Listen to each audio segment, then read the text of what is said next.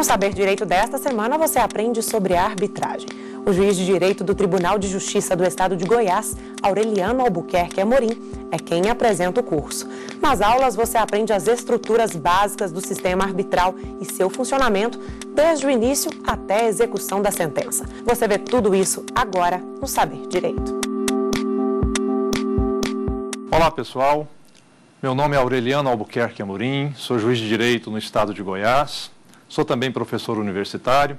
Estamos aqui no TV Justiça, programa Saber Direito, para nós conversarmos a respeito de direito arbitral. O que, que é o direito arbitral? O que, que é a arbitragem? Né? É, nós temos aí a lembrança natural do futebol, nós temos lá o árbitro que ele apita, ele decide é, os problemas de uma partida de futebol. Será que isso tem algo a ver com a arbitragem relativa ao direito? Tem muita coisa a ver. Mas, é claro, não é a mesma coisa. Né? Nós vamos ver o que, é a arbitragem. Num sistema normal, nós, quando temos algum problema, nós procuramos o Poder Judiciário, apresentamos a nossa petição, apresentamos a ação e essa ação então é julgada por um juiz que é concursado, que faz parte, é um servidor público do Poder Judiciário, com todas as garantias constitucionais previstas.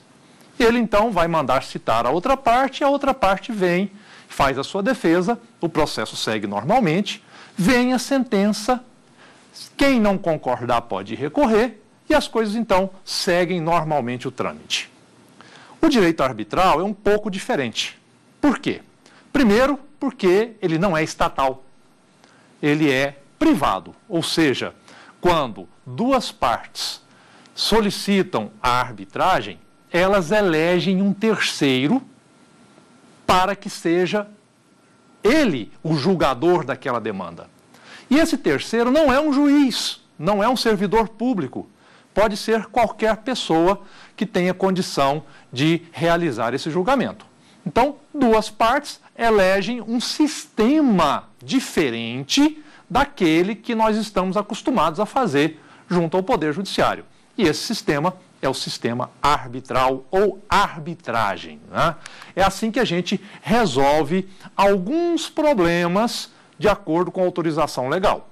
Outros problemas nós não podemos fazer uso da arbitragem, teremos obrigatoriamente que seguir para o Poder Judiciário. Né? Então, o que nós vamos fazer nas aulas relativas a esse tema é mostrar para vocês as circunstâncias básicas de como funciona o sistema arbitral, como é que ele é instituído, como é que ele se desenvolve e como é que ele se finaliza na solução do conflito de interesses. Né? A gente começa então verificando o que, que é arbitragem? Né? É uma instituição pela qual duas ou mais pessoas capazes de contratar confiam a árbitros, por elas escolhidos, o julgamento dos litígios relativos a direitos transigíveis. Né?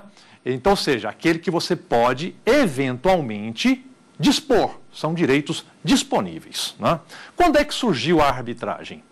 Nós temos notícia de que a arbitragem, desde a época da Roma antiga, ela era utilizada. Né? Então, por quê? Porque naquela época não se tinha um poder judiciário estruturado, né? não tinha é, um corpo estatal que pudesse solucionar os problemas.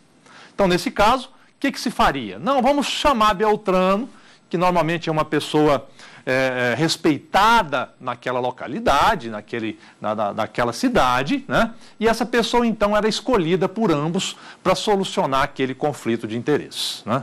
Então, desde a Roma antiga, nós temos é, algumas informações a respeito da arbitragem. Depois, é, nós tivemos na época, é, da, por volta de, do ano 600, né, nós tivemos aí os chamados visigodos na Europa. Eles também tinham é, a utilização da arbitragem nas leis que eles utilizavam. E, enfim, a arbitragem, principalmente com o avançar dos anos, né, ela foi se instituindo em todo o mundo, principalmente nas relações internacionais. Uma empresa de um país com uma empresa de outro país né, tem algum problema E como nós, temos, nós não temos o poder judiciário do mundo, né, eles escolhem uma pessoa para poder solucionar esse conflito de interesses. E é claro, né, é, não mudou isso na nossa atualidade. O Brasil ainda não tem ainda uma cultura arbitral muito grande. A nossa lei de arbitragem é de 1996. Nós tínhamos arbitragem antes disso, porém pouquíssimo utilizada, muito pouco utilizada.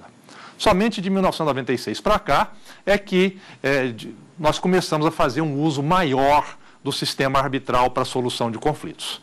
E na atualidade, cada ano que passa, nós temos uma utilização cada vez maior do sistema arbitral, porque se mostra um sistema ágil, rápido, né, informal, que pode solucionar conflitos de interesse, desde que a matéria seja uma matéria passível de se utilizar na arbitragem. Né? Então, o que, que é o sistema arbitral, então? É a escolha de um terceiro para solucionar um conflito de interesses. A arbitragem tem a sua natureza jurídica. Né? Que, qual é a natureza jurídica da arbitragem? A arbitragem pode ser considerada é, natureza, de natureza pública ou ela é particular? Né? Muita gente diz o seguinte: o árbitro ele sentencia, ele decide, né? nós estamos diante de uma prestação jurisdicional e isso então significa que a arbitragem seria pública. Outros entendem um pouco diferente. Não, o árbitro em que pese ele sentenciar, dizer o direito, ter jurisdição, ele é um particular. Ele foi escolhido pelas partes, ele não tem nada a ver com o Estado. Então, alguns advogam que a arbitragem seria particular. E outros dizem o seguinte: não, a arbitragem é um ser dúbio. Né? Ele tem aspectos públicos e aspectos privados. Né? Pode ser que essa seja a melhor solução. Né? É uma natureza realmente complexa na arbitragem. Nós temos elementos dentro dela, tanto públicos como particulares. A melhor solução nessa dicotomia, público ou privado, é no sentido de entender que a arbitragem tem sim aspectos privados. Por exemplo, as partes negociam em contrato realizar o sistema arbitral. Isso é particular, isso é privado. Né? Agora, depois de instituído o sistema arbitral, nós temos um procedimento que segue algumas regras impostas pela lei. E o próprio árbitro, ao sentenciar, ele cumpre também essas regras. Então, nós temos aí alguns elementos de ordem pública. Então, toda vez que nós formos analisar a arbitragem, nós não podemos esquecer dessa questão. Ela tem aspectos privados e tem também aspectos públicos. Né? A sua instituição é privada, o seu desenvolvimento, em algumas circunstâncias, é público, em outras, privado. E a sua execução, a execução da sentença arbitral, é de natureza pública porque é feito perante o Poder Judiciário. Né? Enfim, estamos diante de um ser que tem é, ambas as faces. E é preciso que isso a gente não se esqueça disso para analisar o sistema arbitral. Tá? Bom, como é que é que nós instituímos a arbitragem? Nós partimos daquilo que nós chamamos de compromisso de convenção de arbitragem. Né? A convenção de arbitragem normalmente se exterioriza através de uma cláusula colocada num contrato. As pessoas fazem um contrato e naquele contrato eles colocam lá, normalmente na parte final, a chamada cláusula compromissória. E ela diz mais ou menos o seguinte: ó, é, caso ocorra algum problema com relação a esse contrato, é, será solucionado através do sistema arbitral. Ou seja, as partes não poderão procurar o judiciário, terão que procurar o sistema arbitral. Entendeu? Então, isso nós chamamos de convenção de arbitragem. Certo? A convenção de arbitragem, ela também se, se, se subdivide né, é, no compromisso arbitral. Compromisso arbitral já é a abertura do processo arbitral.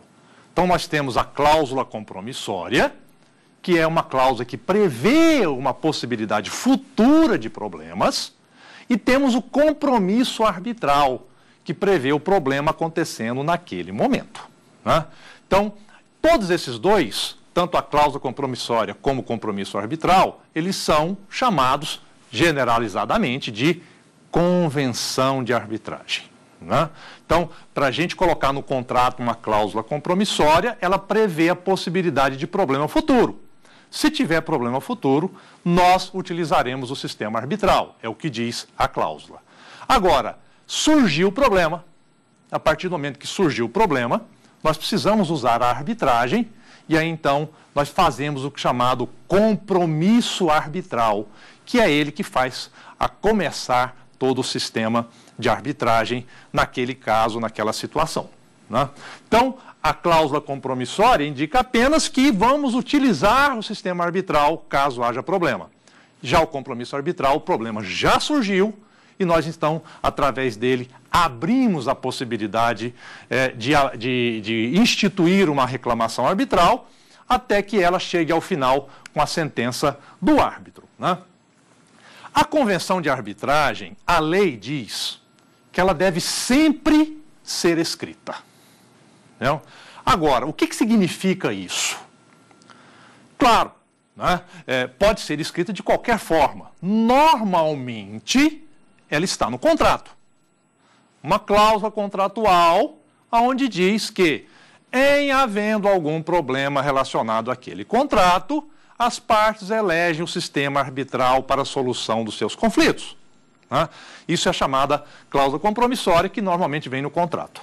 No entanto, o Supremo Tribunal Federal já entendeu em várias circunstâncias, né? isso é comum também na doutrina, de que essa exigência de cláusula escrita não se circunscreve só na cláusula de um contrato. Pode haver, por exemplo, a fixação da cláusula compromissória através de troca de informações, de e-mails, de ofícios entre as partes. E ali se institui uma cláusula compromissória também. Né?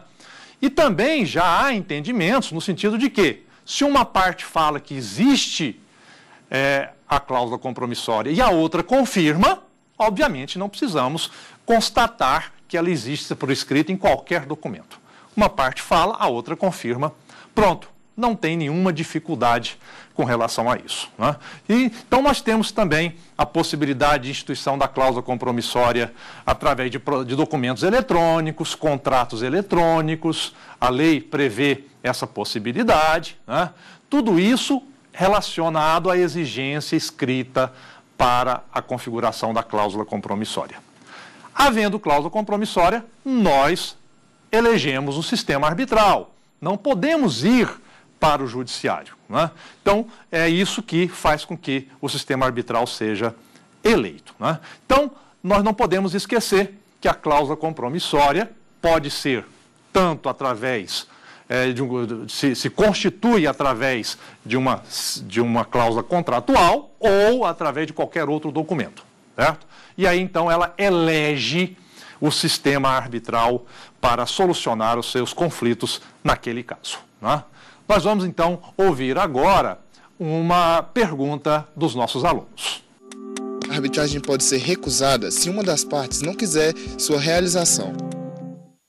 A partir do momento que as partes elegem o sistema arbitral através de uma cláusula compromissória, essa cláusula tem valor para fixar à vontade das partes. Isso só ocorreu através da lei de arbitragem, a lei 9.307 de 96.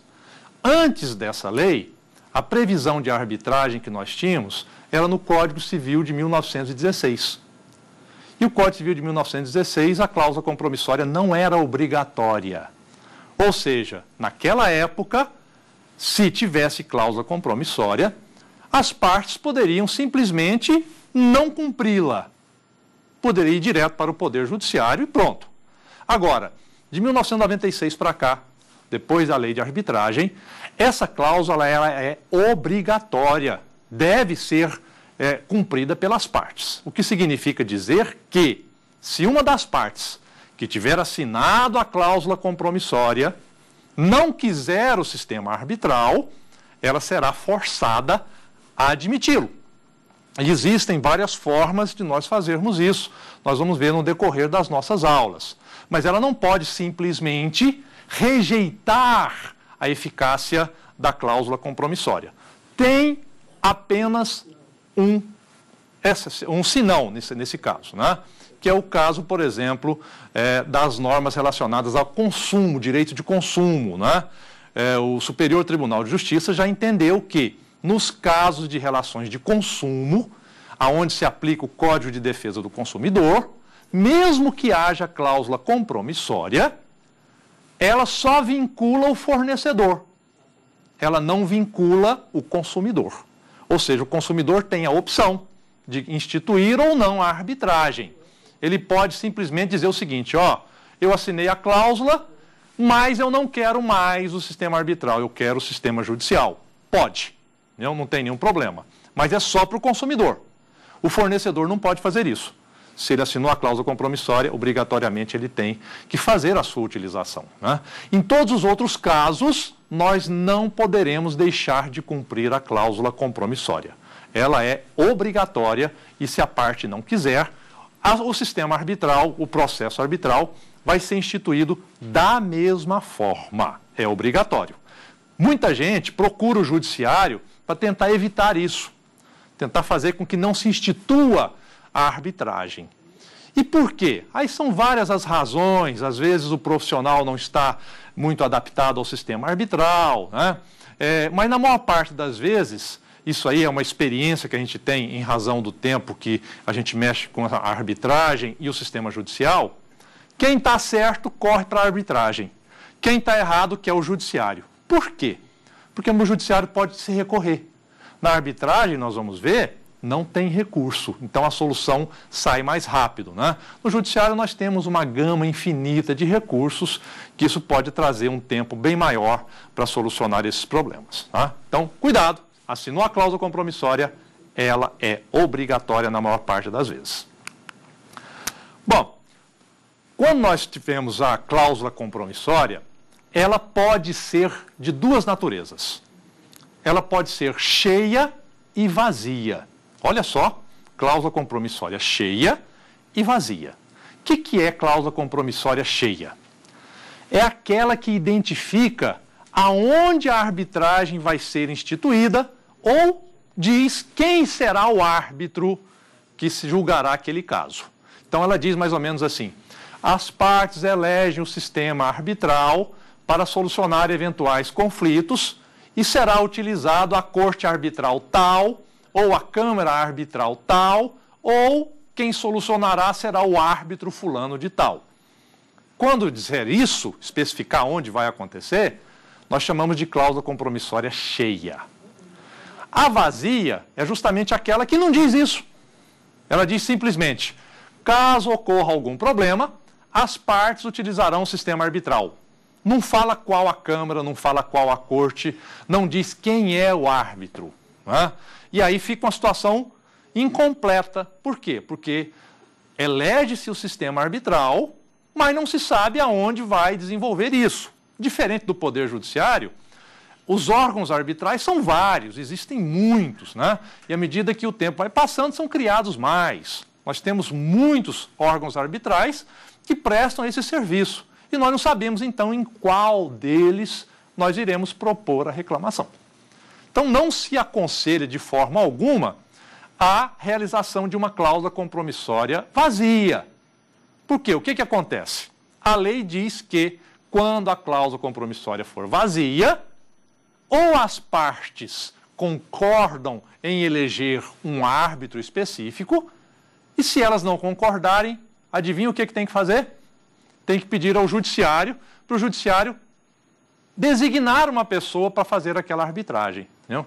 Ou seja, você acaba tendo que ir novamente ao judiciário por uma situação que já poderia ter sido resolvida lá na cláusula compromissória. Entendeu? Então, o melhor é que as cláusulas sejam cheias, dizendo quem realmente vai julgar aquele caso, qual órgão arbitral, porque é assim que nós resolvemos todos os problemas. Tá? É, A cláusula compromissória ela tem o que nós chamamos de autonomia em face do contrato. O que, que é essa autonomia? É como se nós separássemos a cláusula compromissória com o contrato. Vamos supor que o contrato tenha alguma nulidade, tem alguma cláusula que seja nula. Né?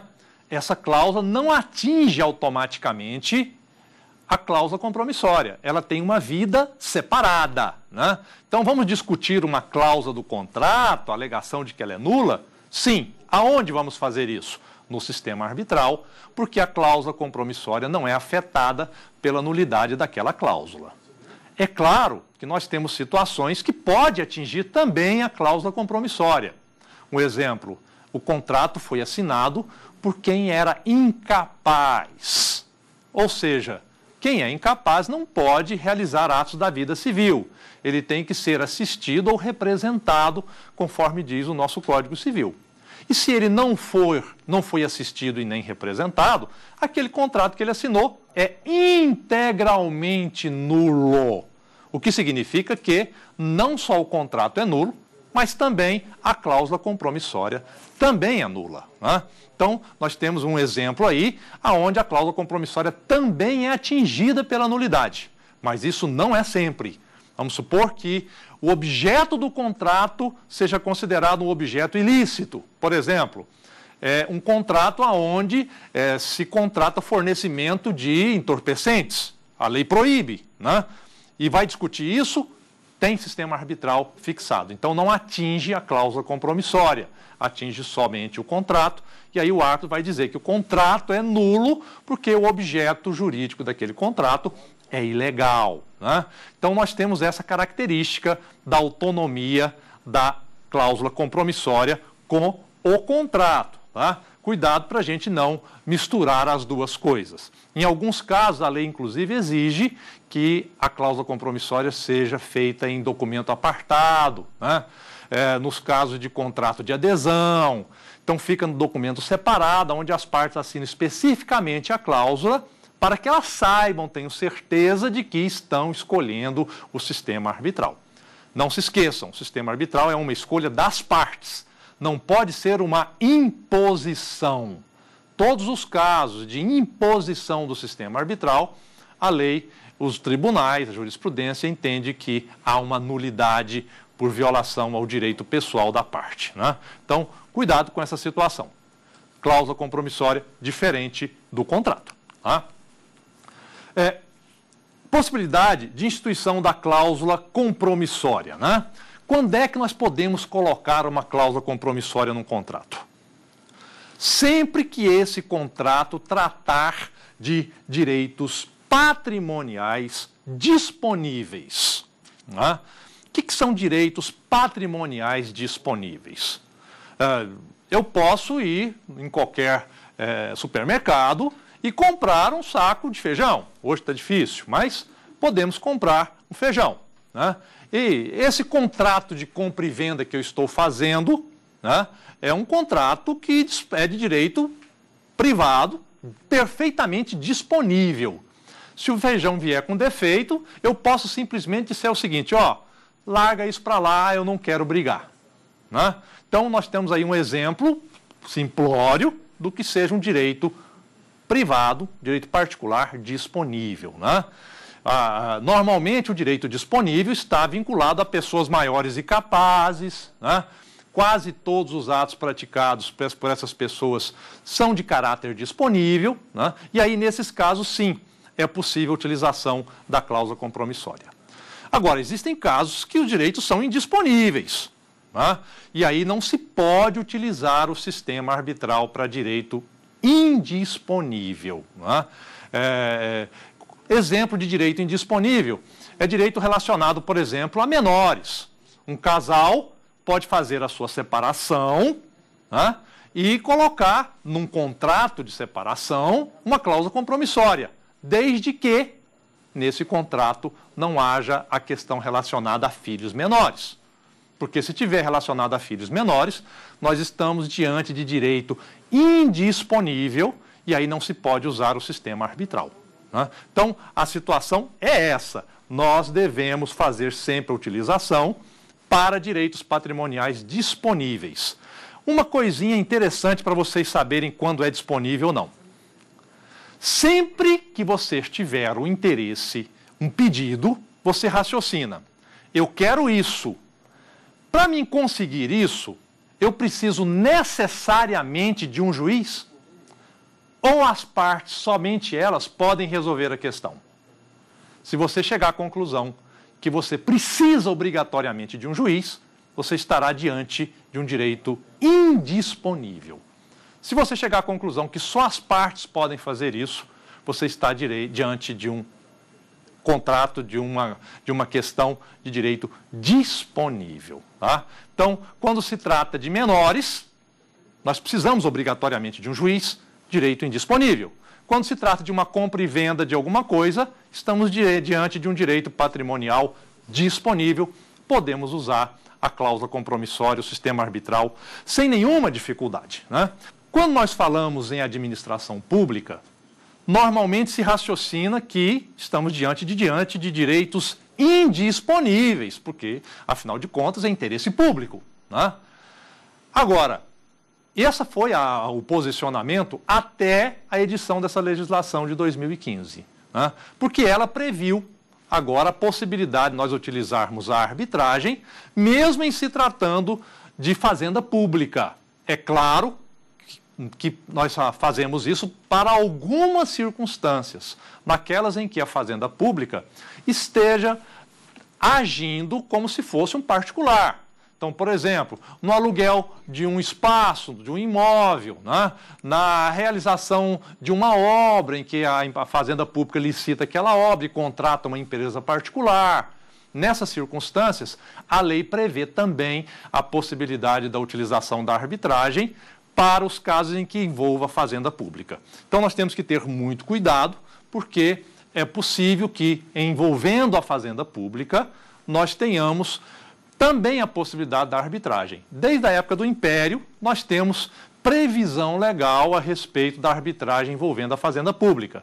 Isso depois é, desapareceu e agora voltou à nossa sistemática jurídica através da Lei 13.129, no artigo 1, que trata da possibilidade da instituição da arbitragem envolvendo a fazenda pública. Muito bom. Né? É, quando nós trazemos a, a arbitragem também para a fazenda pública, nós abrimos um leque muito grande de segurança jurídica para as empresas que trabalham junto aos poderes públicos. Depois vocês vão ver como é que isso acontece. Né? E por último, nós temos também as questões relativas ao direito do consumidor. Como é que nós fazemos com relação ao consumidor? O consumidor é considerado uma pessoa hipossuficiente na maior parte dos casos. Né? E o fornecedor é aquele que tem mais força. Né? Então é muito comum né, que o fornecedor inclua no contrato cláusula compromissória. Já pensou? Você compra um celular de 100 reais em 10 parcelas de 10 reais, né? e você então tem lá, assina um contrato. E você mora numa cidade né? E lá consta uma cláusula compromissória que diz o seguinte: se tiver algum problema, a parte só poderá reclamar via sistema arbitral em outra cidade de outro estado. Só para você ir lá, você gasta muito mais do que o valor do celular. Né? Então, isso torna inviável você exercer algum direito relacionado ao consumo desse equipamento que você comprou por 100 reais em 10 parcelas de 10 reais. Então, justamente por causa dessa hipossuficiência, né, que a lei considera que, quando se trata de relação de consumo, a cláusula compromissória não tem eficácia para o consumidor, só se ele quiser. Né? Na Espanha, nós temos um sistema público de arbitragem. Lá, o sistema público de arbitragem é competente para solucionar os conflitos de interesse decorrentes das relações de consumo. Então, tem uma estrutura pública para isso. Aqui no Brasil, nós não temos a arbitragem é, pública, salvo aí algumas circunstâncias relacionadas a conflitos internos dos órgãos públicos. Nada lá para fora. Né? Então, diante disso, é, nós temos que ter um cuidado ao fazer a utilização do sistema arbitral nas relações de consumo. Só se o consumidor aceitar. Né? Efeitos da cláusula compromissória. Nós temos efeitos positivos e efeitos negativos da cláusula compromissória. Quando você assina o contrato e lá tem a cláusula compromissória, você tem que lembrar disso. Quais são os efeitos positivos? Se você tiver algum problema, obrigatoriamente você deve procurar o sistema arbitral. Então, você tem que essa obrigação de procurar o sistema arbitral. E os efeitos negativos? Se você disser o seguinte, ó, eu não quero o sistema arbitral, eu assinei a cláusula, mas eu não vou cumpri-la, eu vou para o sistema público estatal e entra com a ação no Poder Judiciário. Lá o juiz pega a sua petição inicial, verifica que há uma cláusula compromissória, mas ele não pode recusar de imediato. Ele tem primeiro que citar a outra parte. E se a outra parte vier e fizer aquilo que nós chamamos de exceção de arbitragem, o que, que a outra parte vai dizer? Ó, oh, negativo, né? tem uma cláusula compromissória e isso só poderá ser decidido no sistema arbitral. O juiz verifica, olha, realmente existe a cláusula compromissória, e aí, então ele extingue o processo. Determina no próprio CPC, que é o artigo 485, é, inciso 7 do CPC de 2015, e o artigo 337, inciso 10, também do CPC de 2015, determina a extinção do processo aonde exista a cláusula compromissória. Essa é o efe... esse é o efeito negativo, ou seja, barra-se é, a ação que tem a cláusula compromissória. Bom, e se a parte alegar a nulidade da cláusula compromissória? Normalmente, quando a parte requerida diz o seguinte: ó, oh, tem cláusula compromissória aqui. Né? E aí, o que, que, a outra fala? Não, mas espera aí, ela é nula porque a parte não era adequada, porque a matéria tem algum problema, enfim, alega alguma coisa. Né? A lei, o artigo 8 da lei de arbitragem, né, prevê aquilo que nós chamamos de competência-competência. Para analisar legalidade da cláusula compromissória, primeiro tem que ser submetida ao árbitro e só depois ao juiz togado. Você não pode submeter diretamente ao juiz togado. Primeiro o árbitro, depois o juiz togado. Tá? Bom, é... vamos ver então a nossa próxima pergunta que trata a respeito desse tema. As partes podem definir a legislação que vai ser usada pelo árbitro. Veja só, o tanto que a arbitragem é elástica, né, flexível. Sim, as partes podem, no sistema arbitral, dizer, dizer, dizerem mais ou menos o seguinte: ó, esse problema que nós estamos tendo aqui será solucionado pelo árbitro de acordo com as regras do direito internacional significa que ele não poderá utilizar uma legislação interna nossa. Pode dizer o contrário. Ó, esse, esse conflito deverá ser solucionado à luz das regras deste país. E aí o árbitro terá que utilizar as regras do nosso país para poder solucionar os conflitos. O sistema arbitral dá essa possibilidade, completamente impossível no sistema estatal. No sistema estatal, você não pode dizer para o juiz assim, ó, oh, senhor juiz, o senhor não pode utilizar o Código Civil para solucionar esse caso. No sistema arbitral você pode.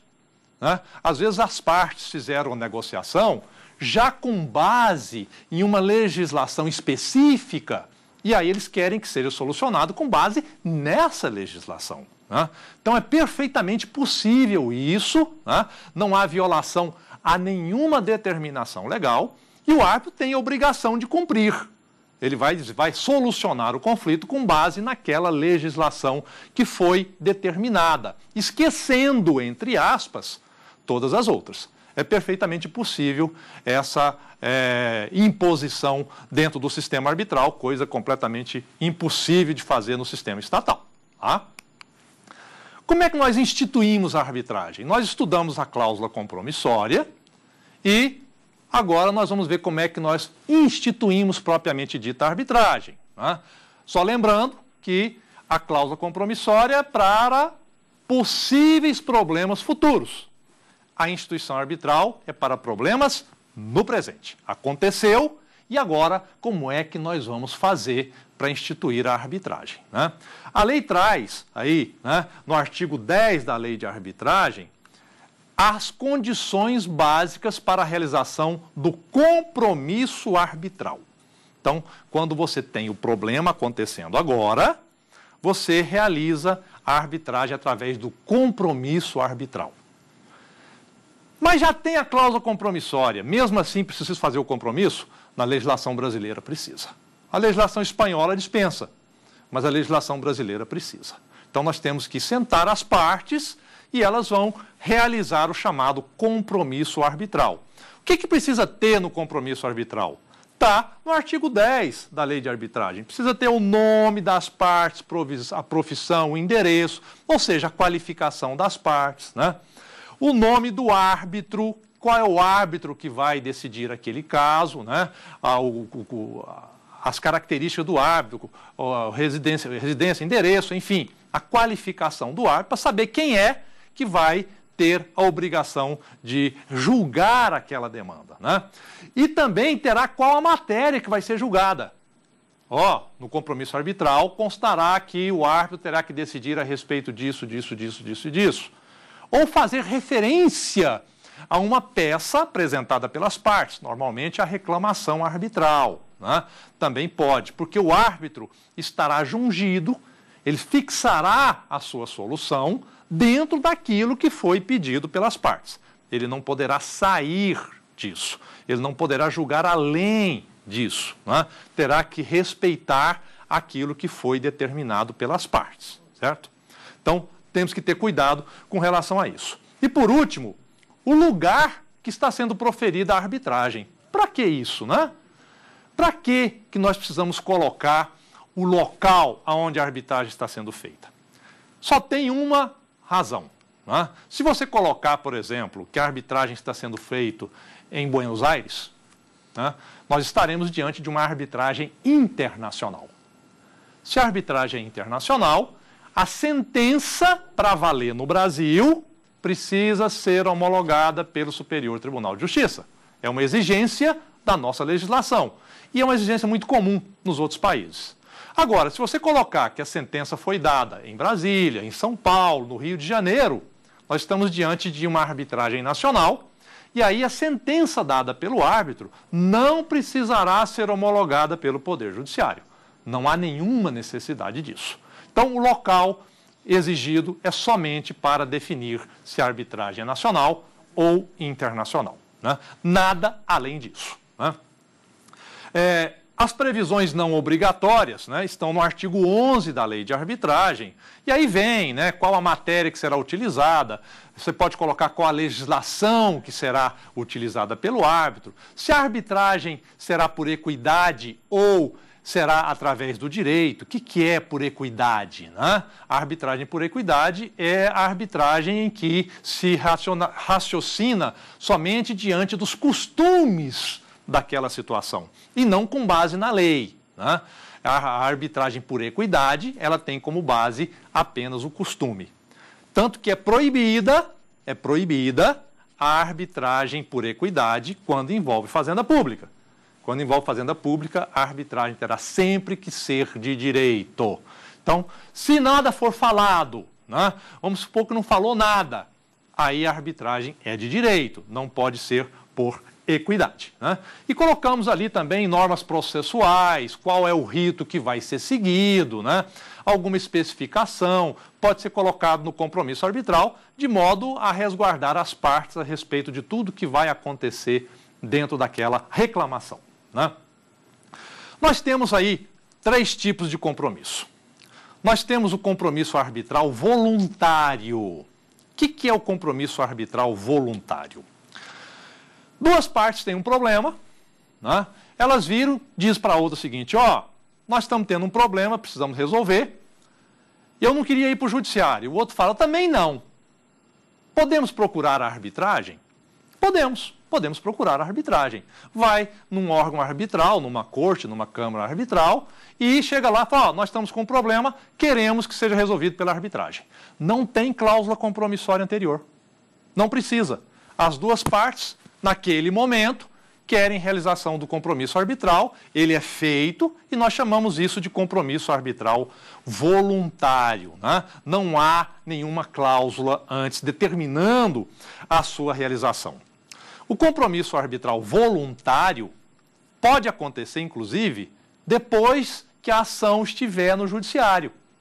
Entrou no judiciário, por um motivo qualquer está demorando, as partes querem resolver aquela situação através de uma sentença, podem ir para a arbitragem, instituir o compromisso voluntário. A partir do momento que instituir o compromisso voluntário, a ação judicial tem que ser extinta porque ele não poderá mais, o juiz estatal não poderá mais atuar sobre o caso.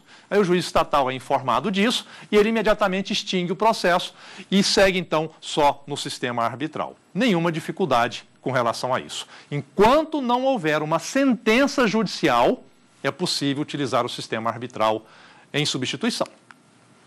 É, também temos a instituição da arbitragem através de regras de um órgão institucional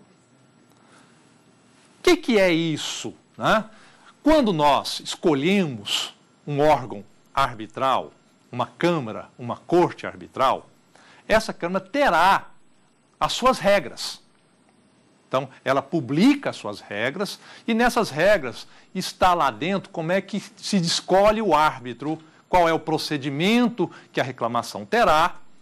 E aí, então, com base nessas regras, se institui o compromisso arbitral. É muito comum que, ao chegar na Câmara Arbitral, na Corte Arbitral, normalmente a parte requerida, né? A parte requerida diz o seguinte: ó, eu não quero a arbitragem, eu assinei a cláusula compromissória, mas eu não quero a arbitragem, eu quero ir para o judiciário. E aí a outra parte fala: não, você assinou a cláusula compromissória, você tem a obrigação de cumpri-la. E aí então pede que seja instituído o compromisso arbitral com base nas regras do órgão arbitral, está previsto no artigo 5 da lei de arbitragem. Né? Então aí, o que, que acontece? Mesmo que a outra parte recusando-se, é lavrado o compromisso arbitral de acordo com as regras do órgão arbitral escolhido, lá na cláusula compromissória cheia. E aí o processo arbitral segue normalmente, não para por conta disso. Né? Então, mesmo que a outra parte não queira, o processo é instituído, o processo arbitral é instituído através do compromisso arbitral por um ato administrativo do órgão arbitral, da Câmara, da Corte Arbitral, e segue normalmente todo o procedimento. Nós temos também no artigo 7 na Lei de Arbitragem a terceira possibilidade de instituição do compromisso arbitral. Os senhores lembram que nós falamos a respeito da cláusula vazia, cláusula compromissória vazia. Só lembrando, cláusula compromissória vazia é aquela que escolhe a arbitragem, mas não diz onde ela vai ser feita. Não diz qual a Câmara, não diz qual a Corte. E aí então fica uma situação que a gente não sabe aonde vai colocar isso. E aí, nesse caso, o que, que acontece? Aí precisamos ir ao judiciário. Fazemos um pedido ao juiz para que ele institua o compromisso arbitral por sentença judicial e nessa sentença judicial ele diga, inclusive, quem é o árbitro que vai solucionar essa questão. Não? É uma perda de tempo muito grande, né? por isso que a gente não aconselha de forma alguma a realização da cláusula compromissória vazia, porque se der algum problema, há necessidade de procurar o judiciário para solucionar a questão. Né? Então, nós temos essa possibilidade da instituição do compromisso eh, arbitral através de uma sentença judicial, o que, convenhamos, não devemos é, utilizar com muita frequência, porque demora muito. Demora muito. Né? Bom, nós agora iremos chamar, então, mais uma pergunta. Se a corte arbitral escolhida não existe mais, como fica a arbitragem? E aí, né? Você fez uma cláusula compromissória cheia, disse lá que a corte é a corte tal, né? E na hora que você tem o problema, o que, que acontece? A corte parou de funcionar. Ela desapareceu, não deu certo o negócio, fecharam as portas. E agora, como é que você vai resolver o problema? Muita gente acha que isso tem que ir para o judiciário, entrar com a ação no judiciário. Né? Acontece que não, não. O que aconteceu nesse caso é apenas que o órgão arbitral desapareceu a forma de solução de conflitos pela arbitragem ainda continua lá. Essa cláusula cheia que previu qual a corte arbitral, qual a câmara arbitral, de imediatamente ela se torna uma cláusula vazia, porque a, a câmara, a corte arbitral prevista, desapareceu. E aí então torna-se uma cláusula compromissória vazia. Qual que é a saída?